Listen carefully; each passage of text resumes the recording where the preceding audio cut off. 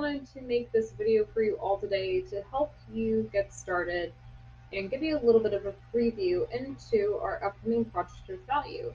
So without further ado, let's get started.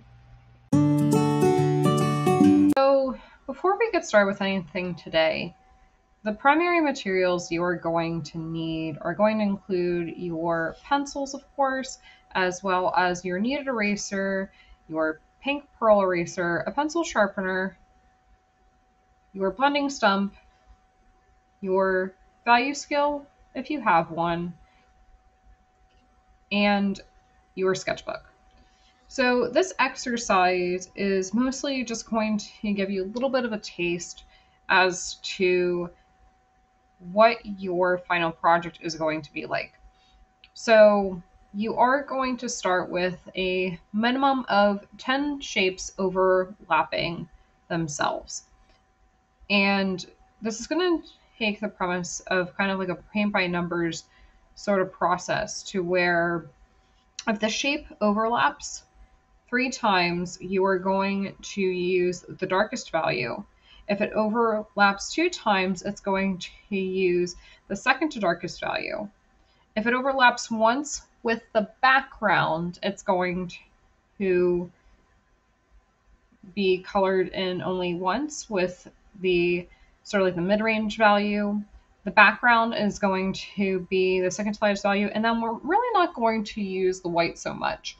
So this is to allow you to recognize and play with your values.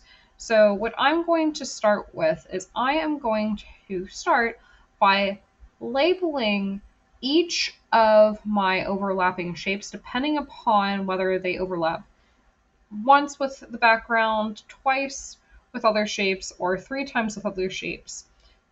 So I'm going to start with that first. All right, so by this point, your values generally are probably pretty well established. And maybe if you're anything like me, everything is in kind of a little, well, gestural, maybe a little streaky. That's okay. Because now is where you get to use your blending stump. And your blending stump will really help to make things more seamless and really tie everything together so that it doesn't feel like there's this sort of like patchy area going on. So remember for your blending stump, you're going to want a piece of paper. It could be a post-it, it could be a piece of newsprint, um, it could be a piece of printer paper, whatever it is. Make sure that that's resting underneath your wrist so that you don't get a big graphite streak right on your um, on your hand. So personally, what I like to do is I like to just make circles all around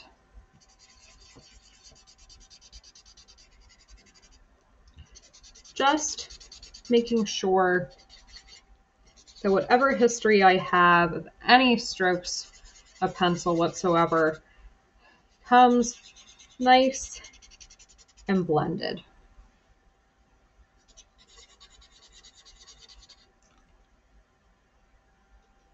So by this point, I have mostly laid out my values. I have blended them out using a blending stump. So now I am ready to go back in and make some final tweaks, final changes and everything. Um, I start to see kind of like in this area over here and also in this area over here, I do see kind of a little bit of smudges. So just going back in with my kneaded eraser and start just pressing, tapping a little bit in that area, will lift some of that out. And again, I'm going to do the same thing over here too, as I'm just kind of like making some last minute tweaks. But again, I can always go back in now with my pencil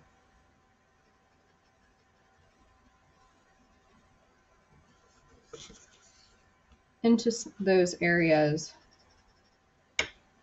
sometimes with your blending stump, you will realize sometimes it does tend to get a little murky like this. You can wipe it off on the side to take some of that extra graphite out. And then again, just very lightly using that side, that will help to soften those edges. And I think that looks pretty good. All right, so I'm going to let you have your hand at that today. And if you have any questions, let me know. See you later.